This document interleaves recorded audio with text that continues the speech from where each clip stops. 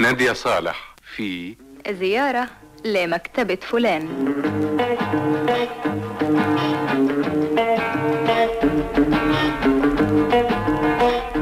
أيها السادة السلام عليكم ورحمة الله.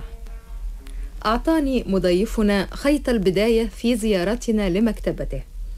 فقد تذكرت وأنا أتفقد الرفوف هنا فوزيره الناقدة التي يكتبها لنا أحيانا.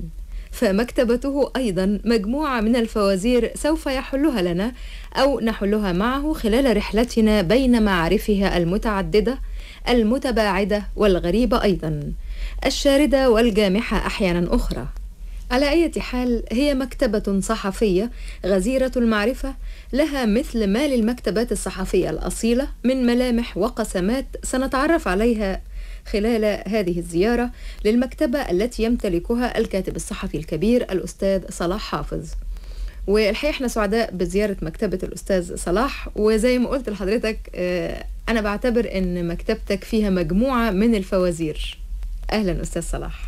والله أنا سعيد بزيارتك للمكتبة ومكسوف منها الحقيقة. لا مش مكسوف. ده يعني أنا عايزة أقول إن دلوقتي من ال- الحلقات أو الزيارات القليلة التي أجد إن البيت بيدخل في المكتبة يعني هنا مكتبة وداخلها بيت ويمكن الزوجة هنا آه، الأستاذة هالة الحفناوي ال- الشاعرة والكاتبة أيضا آه، هي زوجة للأستاذ صلاح حافظ وأظن أن لها برضو آه، فضل كبير في هذه المكتبة ولا إيه؟ أو جانب كبير؟ هو ده صحيح كان المفروض الحقيقة يبقى البرنامج اسمه زيارة لمكتبة فلان وفلانة لأنه الحقيقة برضو اللي مكون المكتبة هو إحنا الاثنين صحيح.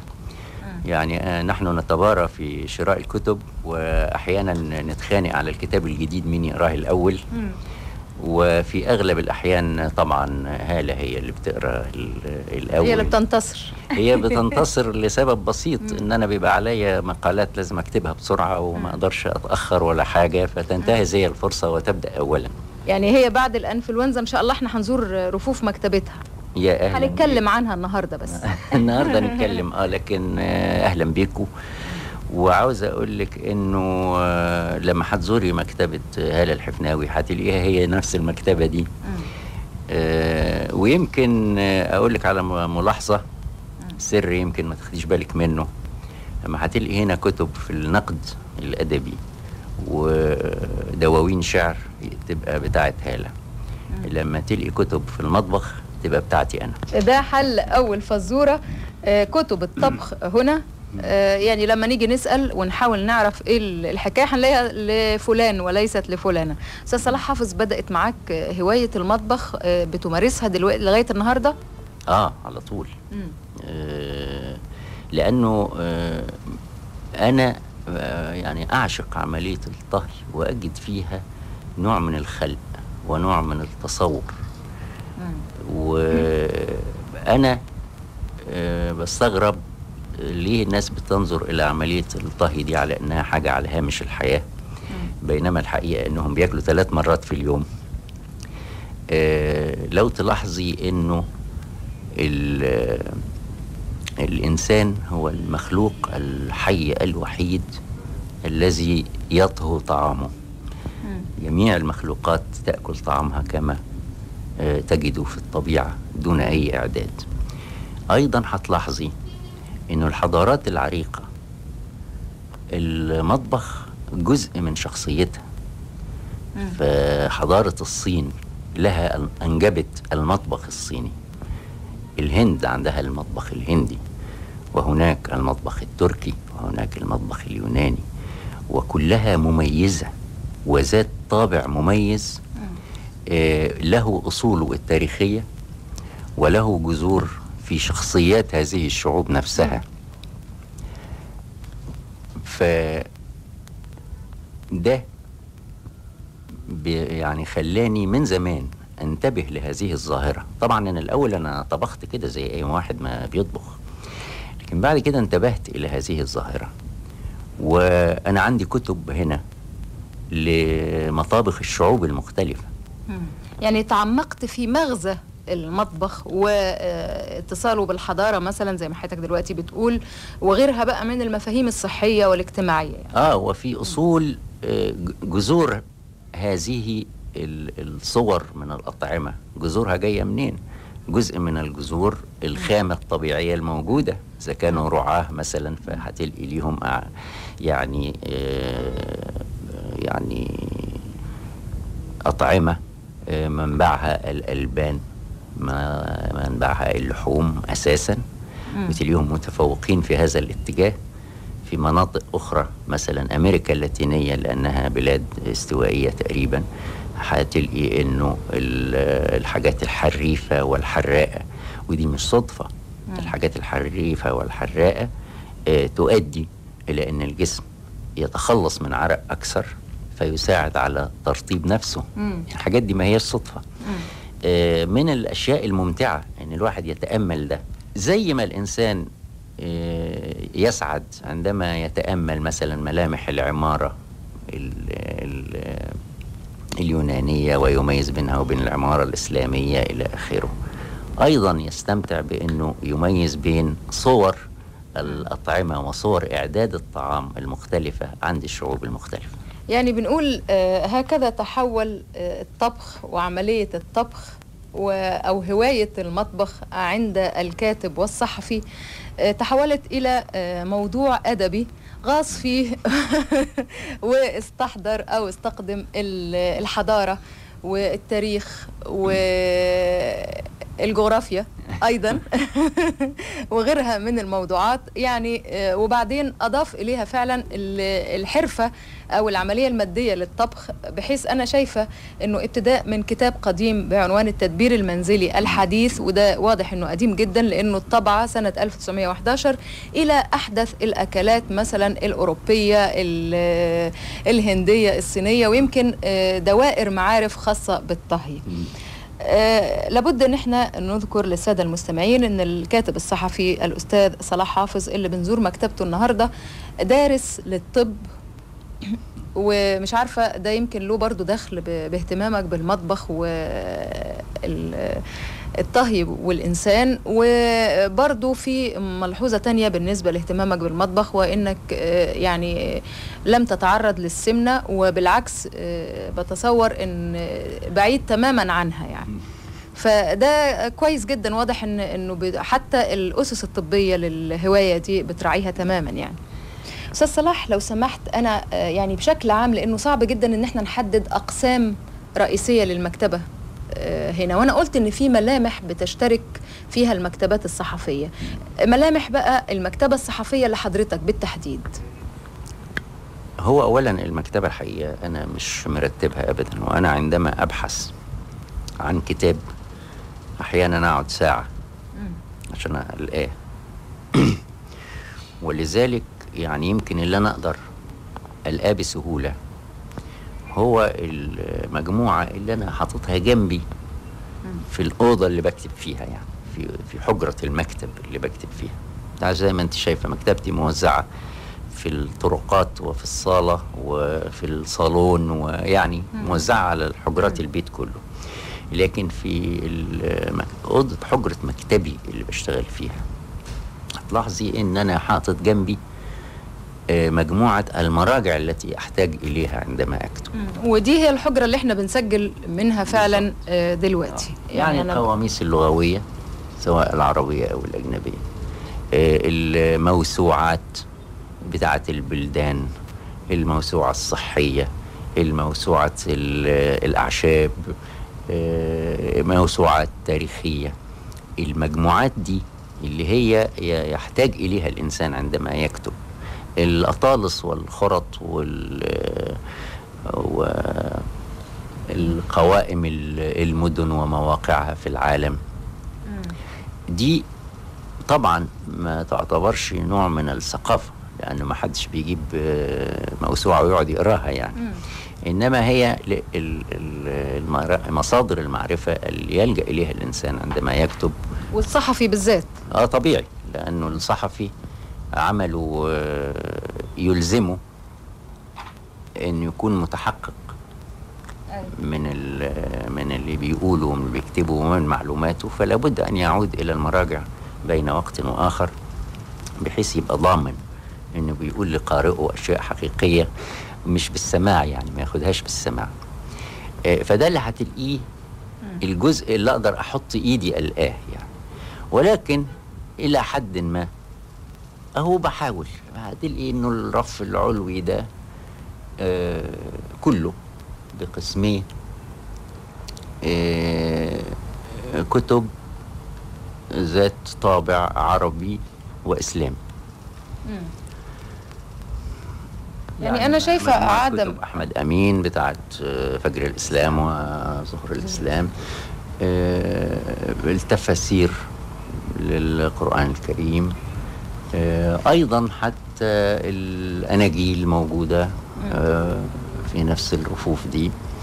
الكتب ال- مثلا آه، الأغاني يعني كل ما هو تراث عربي قدرت أعزله إلى حد ما. لكن ده ما يمنعش إنك هتلاقي كتب تراث عربي محترة في مختلف أنحاء ال- البيت يعني. الجزء يمكن المبعثر اللي قدامي دلوقتي يعني مثلا شايفة كتب سياسية جنبها أي آه، كتب مختلفة. يعني شايفة مثلا ملفات السويس للأستاذ محمد حسنين هيكل آه، يجاوره آه، الفاروق عمر للدكتور محمد حسين هيكل.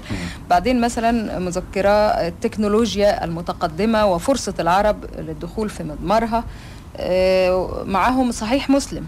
آه. الأحاديث النبوية ومثلا في بعدهم بعد صحيح مسلم ومجموعة ال- هذا ال- المرجع أو الكتاب مجموعة آه، مجلة روز اليوسف آه، بتجاورها. وأنا بتذكر دلوقتي الأستاذ العقاد لما قال إن كتبي آه، وما فيها لو نطقوا. لا خرجت مفرقعات وقنابل بين الأفكار والمعارف المختلفة. أنا بتصور إن ممكن يحصل هنا. بالظبط أنا بتهيألي كده برضو لأنه هتلاقي في الرف اللي ورايا ده على طول مجموعة كتب أجنبية بالإنجليزية عن أسبانيا التاريخ الأسباني غزو العرب لأسبانيا طرد العرب من أسبانيا وبجوارهم على طول كتاب فقه السنة للشيخ سيد سابق. ما أنا بقول كده. آه، يمكن برضو آه، يعني مش عارفة هل لم تبتعد بمعلوماتك الطبية آه، يعني كدارس للطب في البداية بحيث أنا شايفة إن في مثلا كتاب عن ال herbs اللي هو ال- الأعشاب. ومجموعة encyclopedia دوائر معارف طبية. آه، آه. آه، وغيرها. يعني هل دي موجودة من فترة آه، مضت ولا ما زلت متصل إلى حد ما بشكل أو بآخر؟ مش عارفة. المسألة بالنسبة لي ما هياش يعني مش مهنة. الطب ما هوش مهنة بالنسبة لي. الطب نوع من المعرفة وهو من أغنى المعارف في العالم. لأنه يتضمن ال- النبات والحيوان والكيمياء والطبيعة والإنسانيات. آه،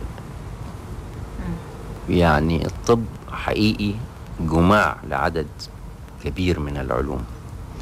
وأنا بحب العلوم عموما.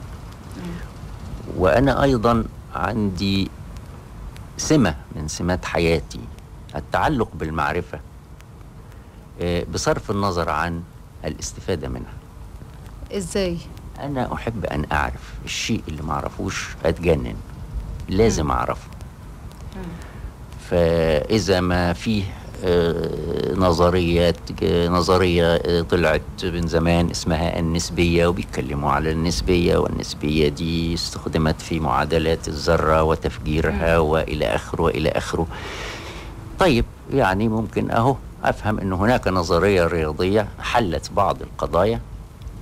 العملية بحيث أصبح بالاهتداء بيها تفجر الذرة وبالاهتداء بيها أمكن غزو الفضاء. لكن أنا بقى أتجنن لازم أعرف النسبية شخصيا.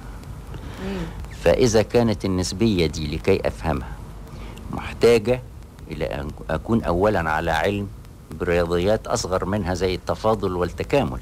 إذا أدرس التفاضل والتكامل وده حصل.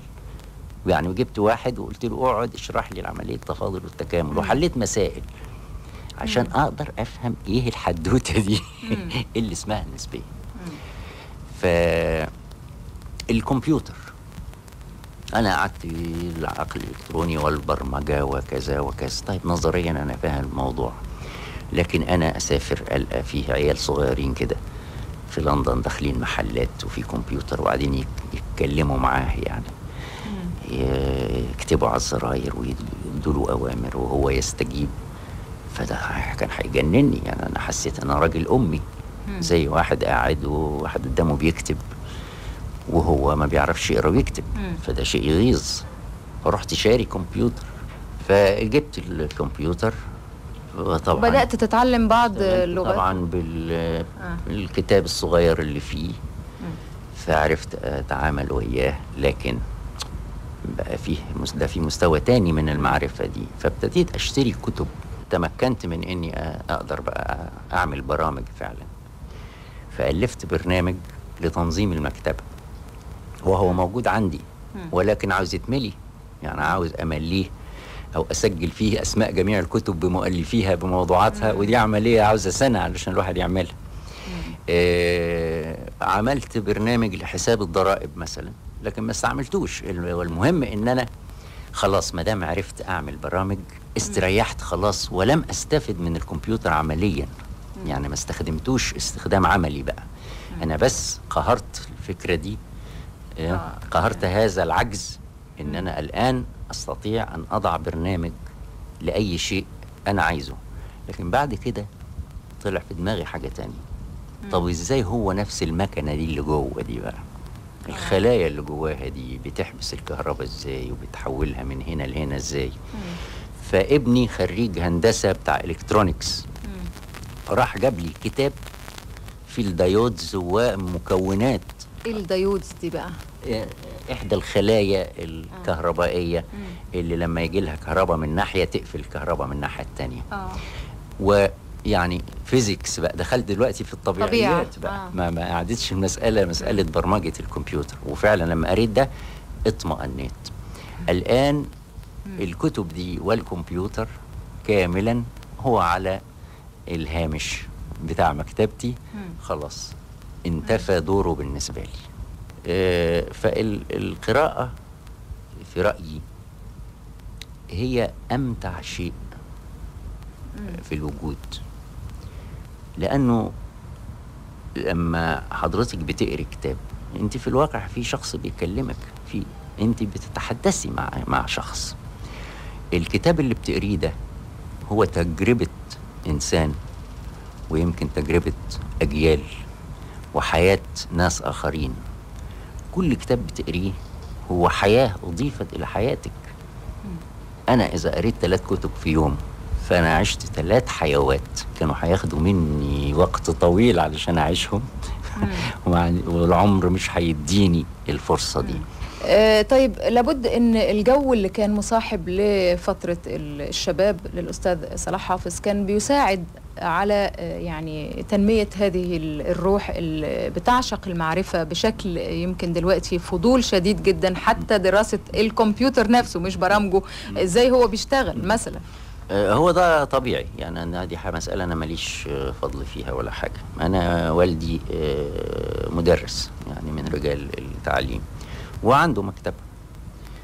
فمن صغري وأنا لسه يعني دوب اتعلمت ان أقرأ آه، قريت مكتبته. طبعا ما فهمتش حاجة خالص لأنها أنا لسه عيل يعني. إنما هو الكتاب أمسكه أقعد أقرأ فيه وخلاص. لما أكبر سنة برجع أقرأ تاني بفهمه أكتر شوية، شوية آه. يعني. وهكذا. ف في سن مثلا عشر سنين ما كانش في أي كتاب عند والدي أنا ما قريتوش. آه، أيضا أنا آه، خالاتي جميعا متعلمات.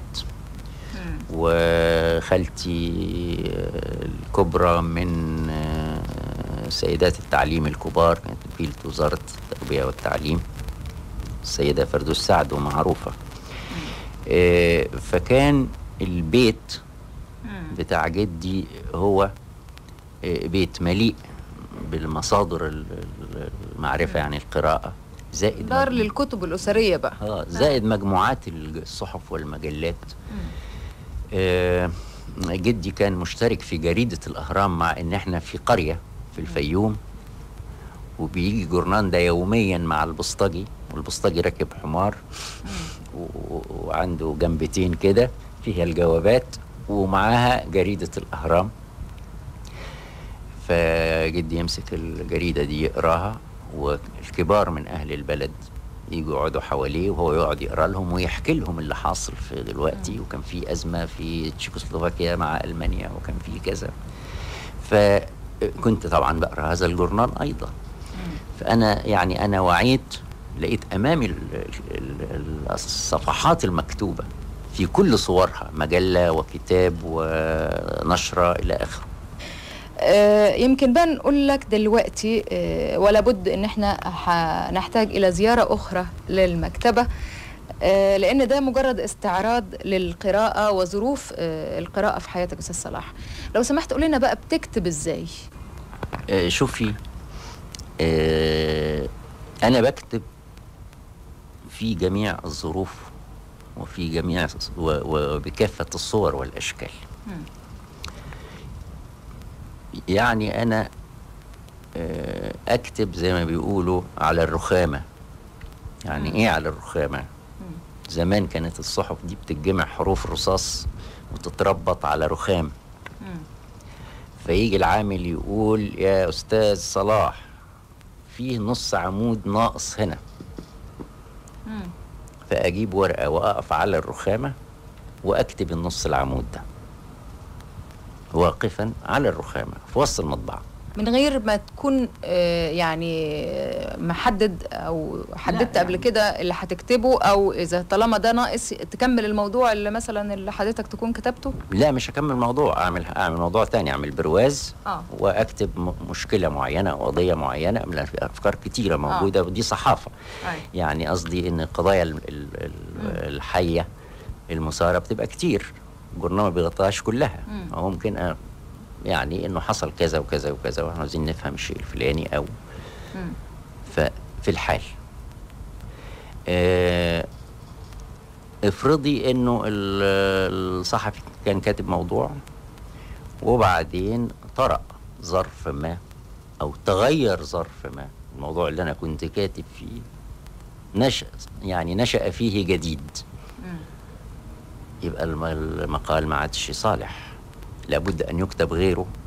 أو يحدث يعني يضاف إليه الجديد طيب إذا كان ده بقى الم- المطبعه بعد ساعة يبقى لازم يتكتب في ساعتها مم. فإذا كان في ذلك الوقت أنا في البيت يبقى هقعد على المكتب على طول وهكتبه وأمليه بالتليفون. آه، في وقت آخر يبقى معروف أنا بكتب هذا الباب في اليوم الفلاني فأستطيع قبله بيومين بثلاثة يختمر في ذهني موضوع فأكتبه. آه، هذا النوع من الموضوعات عادة يتكتب في دماغي أولا قبل ما أكتبه. يعني يتبلور بل بالنسبة لي أنا يتبلور بكلماته. يعني يبتدي أقول إيه ثم أقول إيه ثم أقول إيه. في الحالة دي لما أقعد أكتب يتكتب في خمس دقايق يخلص لأنه بيبقى جاهز. خلاص بيبقى حضر في في الذهن. آه، بعض الموضوعات القضية هي اللي بتفرض نفسها. لكن المادة إيه؟ المادة عاوزة بحث. هنا بنلجأ بقى إلى. المرجع وبنلجأ إلى الجرايد ال- اللي تناولت الموضوع ده إذا كانت موجودة. أو أحيانا بنروح الأرشيف بتاع الصحيفة نفسها عشان نطلع ال- المادة اللازمة. ومثل هذه الموضوعات عادة تأخذ يعني فترة في في الإعداد لأنها بتاخد مجهود. فأنا ما أقدرش أقول لك إن في صيغة معينة أنا بعملها علشان خاطر أكتب. آه، أنا طبعا. أنا سني دلوقتي كبير يعني. كبرت بقى. فما عدتش متعرض للكتابة على الرخامة والحاجات دي. آه، لكن أنا آه، حاليا أنا مش بكتب بنظام محدد. إنما في حاجة تغيظني أروح قايم كاتب. في حاجة تلفت نظري. أقوم قايم كاتب. ما فيش في ذهني الموضوع اللي أنا كاتبه ده هنشره فين أو هنشره يوم إيه ولا يعني حاجة. التحدي آه،. ياخدك للقلم على طول على طول. أهم من ال... من أي شيء آه فتبقى عندي رصيد من الموضوعات بأطوال مختلفة يعني قصيرة وطويلة وبتاع هي المسألة أنا أجلس إلى المكتب وفي ذهني فكرة أريد أن أوصلها إلى القارئ لما توصل يبقى الموضوع خلص. ظروف ال أيوة. إذا وصلت في نص عمود أوكي. إذا خدت صفحتين زي بعضه. إذا كانت هتاخد صفحتين من الجورنان زي بعضه. أكتبها برضه وأخلي الجورنان يبقى يقسمها وينشرها على حلقات. آه ودي طبعا ده نوع من الترف غير متاح لغيري من ال من ال- الكتاب. أو قصدي من الصحفيين العاملين حاملي المسؤوليات. إنما هذا الترف لم يتح لي إلا بعد ما بلغت ال- الستين وصرت حسب قانون قانون الصحافة لا آه، أستطيع أن أكون صاحب مسؤولية إدارية في أي صحيفة. فأصبحت كاتب حر. سر الفوازير بقى إيه اللي بتكتبها؟ يعني آه، هل انتشار مثلا الفوازير في آه، في الفترة يمكن في فترة ما وخصوصا في رمضان أو كده يعني أنا متهيألي طبعا فوازير رمضان هي اللي ادتني ال- العنوان لكن أنا جاوبت على السؤال ده قبل كده في مقال كتبته إنه آه. الفضل في الفوازير دي البيروقراطية المصرية. لأنه 90% من اللي أنا بكتبه أو اللي كتبته كفوازير هو تصرفات عجيبة من أجهزة بيروقراطية يتعرض لها المواطنين. ويفاجئوا بألغاز في السلوك البيروقراطي. آه، ملهاش تفسير. يعني تعرضيها على المنطق لا يمكن. على القانون لا. على مثلا العادة والعرف لا. تفاجئي براجل رايح ياخد آه، مثلا آه، بدل فائد للبطاقة. فيقولوا له هات لنا شهادة الميلاد. البطاقة الأصلية أصلا صدرت بشهادة الميلاد بكل الأوراق دي. يقولوا لا هات لنا الأوراق دي تاني. طيب يروح يجيب الأوراق. يقولوا له الصفحة اللي أنت مكتوب فيها في دفتر الصحة مقطوعة. باظت. يقول لهم طب أعمل إيه؟ يقولوا له بقى تروح تطلع حاجة اسمها كشف عيلة يغني عن شهادة الميلاد. فيروح يطلب كشف العيلة. فقالوا له لا يا سيدي ما نقدرش نديك كشف العيلة إلا إذا جبت لنا شهادة الميلاد. كويس. طيب دي بذمتك. هل يمكن شرحها؟ هل يمكن إعطاء تفسير مبرر أو مبرر مقنع لمثل هذا السلوك أو مثل هذا التصرف؟ فبتبقى حقيقة فزورة. وبيبقى يعني لا يعفي الإنسان من ضغط الدم بسببها إلا إنه ياخدها بشكل ينكت على طريقة المصريين فيحطوا حلول للفوازير مضحكة فيها نوع من السخرية تخفف عن النفس. أستاذ صلاح طيب آه لك كم كتاب ناخدهم على وجه التحديد؟ والله هم كروايات آه روايتين مش أكتر. آه مسرحية اسمها الخبر مسرحية اسمها الغلطة. آه كمية من القصص كبيرة جدا يمكن تتجاوز ال 300 قصة ولكن لم أنشر غير يعني في كتب ما نشرتش في كتب غير آه، مجموعتين واحدة اسمها أيام القلق وواحدة اسمها آه، الولد الذي جعلنا لا ندفع نقودا. نشرت آه، كتاب. يعني هو مترجم مع بعض التصرف عن تاريخ العادات ال- الجنسية للإنسان. ومقصود بها عادات العلاقة بين الرجال والنساء يعني الزواج والطلاق والانفصال وال- والحاجات زي كده. زائد أيضا العلاقات الجنسية غير المنتظمة. آه، في الحضارات المختلفة من بداية يعني ال- الأيام البدائية لحد النهاردة بما في ذلك العصور بتاعة المسيحية والعصور الإسلامية إلى آخره. آه، وأيضا أنا ترجمت مذكرات شارلي شابلن في في جزئين ونشرتهم أيضا. آه، نشرت كتاب من الأدب الفكاهي عن المكاتب. يا يا المكاتب؟ آه، عن- طب ما ده البيروقراطية. آه المكاتب ال... آه. عن البيروقراطية. مم. آه، أفتكر يمكن ده كل اللي كتبته آه، دلوقتي بتميل إلى الموضوعات ال- الصحفية اللي بتكتب فيها وبتتناول يمكن بعض المظاهر الحياة في المجتمع المصري. آه، الحياة السياسية والاجتماعية والاقتصادية والدينية إلى آخره مش كده؟ ده يعني اتجاهك شوفي هو عموما أنا ما لم أكتب ادبا إلا في الفترات اللي ما كنتش فيها بشتغل في الصحيفة. هي دي الفترات اللي كتبت فيها الروايات.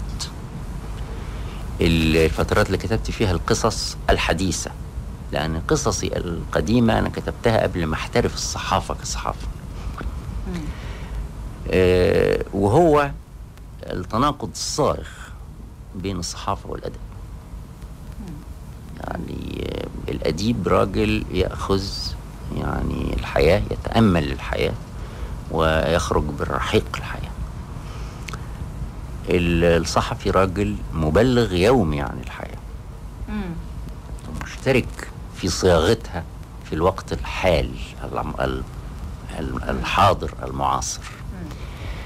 الأديب عاوز يبقى براها شوية ينخرط فيها ثم يهضم ثم يستخلص.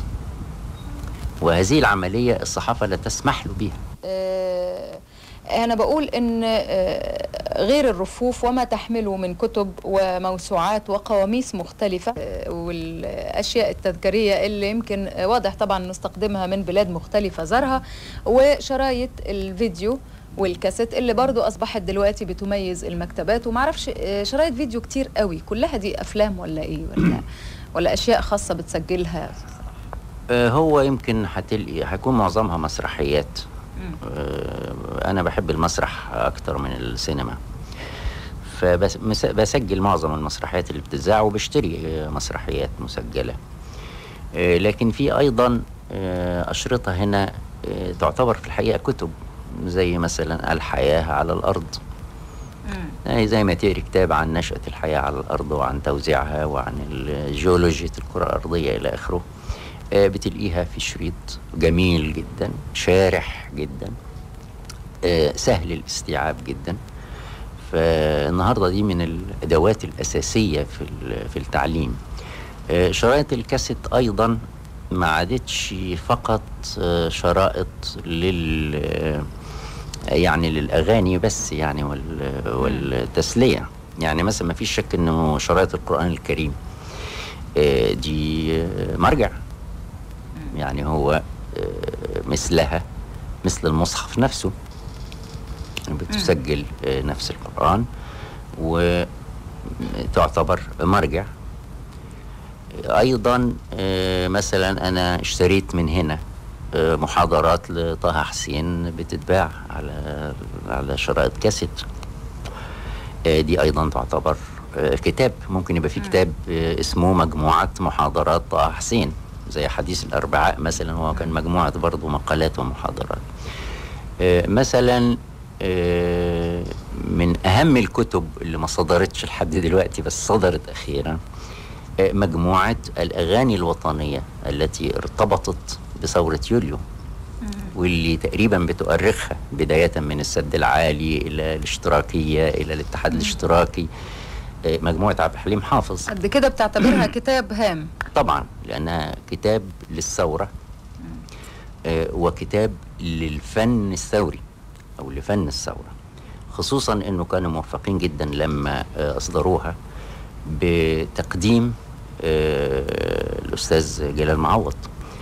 لأنه صوت جلال معوض الإذاعي المعروف طبعا. الإذاعي طبعا زميلكم. آه، ارتبط بالثورة صوت مميز تقديمه لهذه المجموعة من أغاني الثورة تقديم ممتاز. تقديم جلال لهذه المجموعة حولها إلى مرجع حولها إلى كتاب لأنه أصل الفكرة وتاريخ كل أغنية والموضوع اللي بتتناوله وقدمه بشكل ممتاز. وهو يعني جلال معوض من الشخصيات التي أحترمها جدا في الإذاعة المصرية. طبعا. آه، من آه، آه، أكثر الناس صدقا مش في ادائه وصوته في شخصه كمان. أنا عرفته شخصيا آه، راجل آه، حقيقي آه، صادق حقيقي جاد لا يجامل.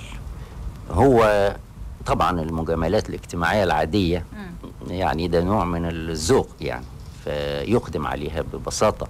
ولكن إذا كانت المسألة حق أو لا حق حق أو باطل لا يمكن يجامل.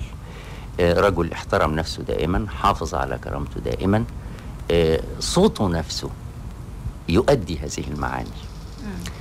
آه، مما يدل أنا سمعت زمان من أحد الإذاعيين الكبار وأعتقد إنه كان استاذكم محمد فتحي. آه طبعا الله يرحمه ده كان له لقب كروان الإذاعة. آه ده كان مرة وكانوا اتعملت عليها نكت زمان يعني كده ظريفة دعابات لطيفة يعني. آه إنه آه كان يقول الصوت ده مثقف. آه، الصوت ده هازل. يعني شخصية الإنسان تبان من آه، صوته من. صوته. فالحقيقة إنه آه، صوت جلال معوض معبر عن شخصيته وارتباطه بالثورة المستمر يجعله مؤرخ الثورة صوتا. عظيم جدا. طيب آه، هل بتتصور أستاذ صلاح حافظ إن آه، آه، الكاسيت والشرائط الفيديو تجاور الكتب في المعرفة؟ يعني كمصدر للمعرفة ولا الكتاب له المرتبة الأولى آه، وال- والثانية والثالثة آه، بشكل يعني ساحق يعني بياخد المرتبة آه، الأولى الشريط الكاسيت وشريط الفيديو هم مستقبل مستقبل الثقافة. آه، إنما الكتاب هو ديمومة الثقافة هو الشيء الدائم. عظيم. طب إحنا آه، على ديمومة الكتاب بنقول إن إحنا إلى الزيارة الثانية للمكتبة التي آه، يمتلكها الأستاذ صلاح حافظ وقدامك دلوقتي على المكتب كتابين. يصاحبونا آه، في بداية الزيارة القادمة إن شاء الله.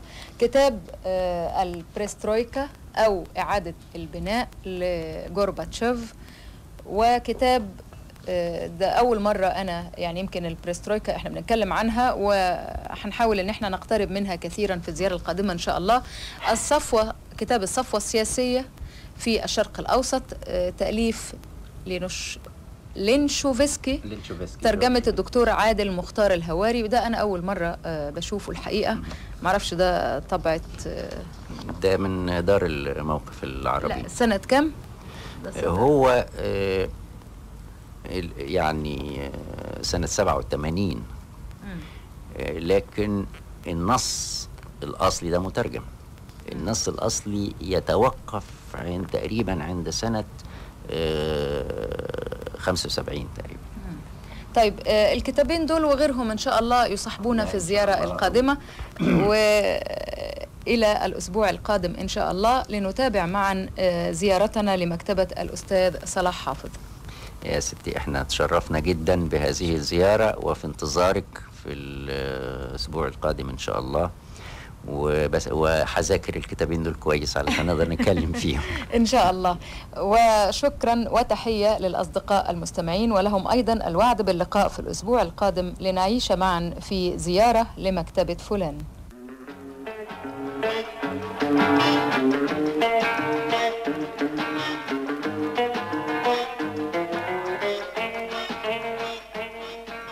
زيارة لمكتبة فلان. إعداد وتقديم نادية صالح.